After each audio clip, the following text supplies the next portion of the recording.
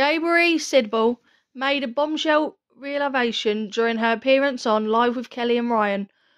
While stopping by the talk show on Monday, December the 5th, the Precious, based on the novel Push by Sapphire Star, shockingly revealed that she and Brandon Frankel have been married for over a year.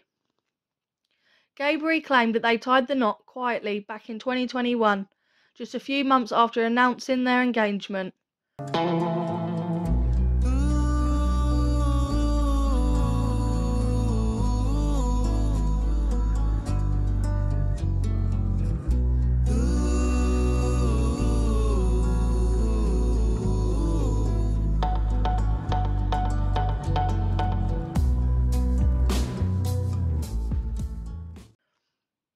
In the episode, the 39 year old went on to share why she kept the news of her nuptials under wraps until now.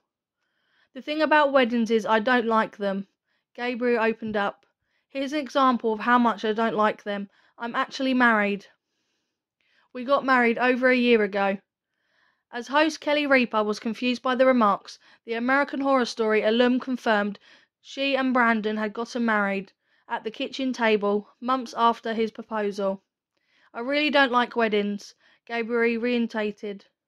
Following Ga- Gabourey's announcement, Brandon took to his Instagram page to share a tweet messaging addressing the big news.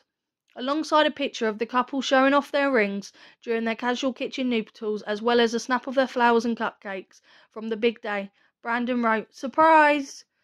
I can finally call her my wife, publicly. Since Gabourey Sidibe finally spilled the beans today on Live with Kelly and Ryan. We've been married since March 21st. He continued, revealed that we can finally tell the world. So thankful to have forever my found my forever person, my partner in crime, and the love of my life. Brandon concluded, Every day is the best day with you. Nobody I would ra- rather raise cats with and be in bed by a smooth 8 pm with. Love you forever. Gabourey announced their engagement in November 2020. It's weird that people think we're already married, but I guess our hearts and intentions for each other are just that clear to see. My BFF proposed, and now I get to hold him forever. She wrote at the time while showing off her engagement ring. She sang praise for her fiance, the funniest man I've ever met, the sweetest human to exist. Brandon Frankel made up a song for when I put my bonnet on her night.